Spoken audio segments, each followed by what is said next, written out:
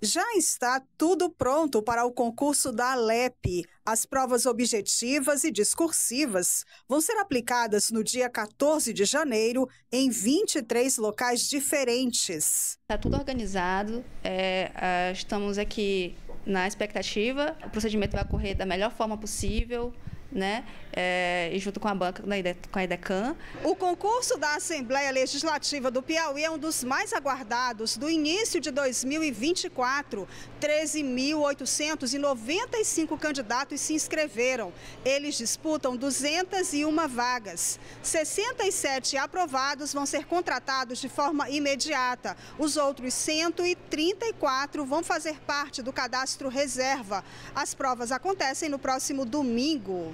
As vagas são distribuídas para os cargos de nível superior, analista legislativo e médio, técnico legislativo. Os candidatos aprovados vão receber salários que variam de R$ 2.644 a R$ 4.068 e vão ter direito a um reajuste de 6% sobre o vencimento base, além do auxílio alimentação. É um concurso que a exigência é, de qualificação técnica é maior, né? São 24 especialidades de nível superior e 7 especialidades de nível médio, então é, a exigência para uma qualificação técnica maior acaba restringindo um pouco o, o, o público-alvo, mas dentro do que era esperado e dentro da, do interesse da casa, que é o que foi planejado. Os candidatos precisam ficar atentos a algumas regras. No dia da prova, caneta azul ou preta feita de material transparente,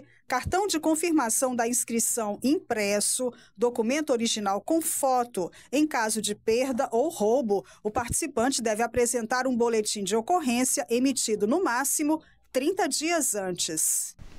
das 8 às 12 pela manhã farão farão a prova de nível médio, os candidatos que se inscreveram para, os cargos de nível médio, e das 14 às 19, os candidatos que se inscreveram para as provas de nível superior, levar o essencial apenas